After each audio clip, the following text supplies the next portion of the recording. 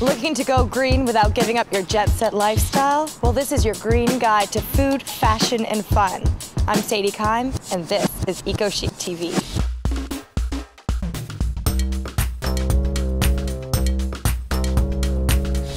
I absolutely love coffee, and it's more like a vitamin to me than a guilty pleasure. But what exactly is going on at that cafe of yours that you're going to every morning? Is it worth checking out what's roasting about five steps down the street? Oh, it smells great. I'll have a double shot cappuccino, please. I have this perfect cup of coffee here in Trees Organic Cafe. What makes this coffee so good?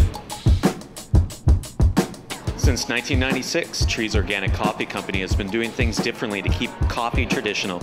Trees owner, Doran Levy, travels the world personally selecting the beans, buying only 100% certified organic coffee. Trees Organic is also involved in supporting the economy of coffee growers fairly by buying coffee that guarantees its growers a livable wage. Their beans are shade grown, meaning that unlike other growers who clear cut extensive sections of the forest to plant their coffee, Trees beans are grown underneath the natural shade of the existing trees. These beans are roasted right here on site and you can smell it. You can smell it in the air.